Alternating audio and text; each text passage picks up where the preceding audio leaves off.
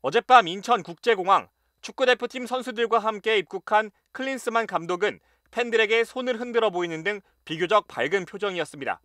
사퇴 의사를 묻는 기자의 질문엔 좋은 질문이라며 여유를 보였습니다. Nice question. 13 games unbeaten since I'm here. Uh, was very successful. Yes, you know, we were disappointed after the game, uh, but then there's a lot of uh, positives. 클린스만 감독은 아시안컵 4강 진출이 실패는 아니라며 자진 사퇴할 의사가 없음을 분명히 했습니다.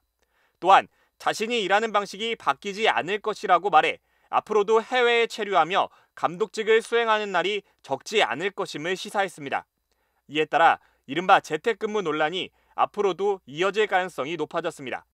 축구 팬들은 쏟아지는 비판에도 여유를 보인 클린스만 감독에 대해 실망스러운 반응을 보였습니다. 클린스만의 멘탈 인정한다. 클린스만 같은 멘탈로 살면 스트레스는 안 받겠다는 등의 냉소적인 반응도 나타났습니다. 일각에선 카타르와의 4강전 패배 이후 고개를 숙인 이란의 아미르 갈레노이 감독과 비교하기도 했습니다. 갈레노이 감독은 패배 직후 국민들께 사과 말씀을 드린다. 결승에 진출했어야 하지만 그러지 못했다며 오늘은 내 인생에서 가장 힘든 날 중 하나라고 언급했습니다. 한편 공항에선 축구팬 일부가 클린스만 감독을 향해 엿사탕을 던지고 집에 가라며 그를 비난하는 소동이 벌어지기도 했습니다.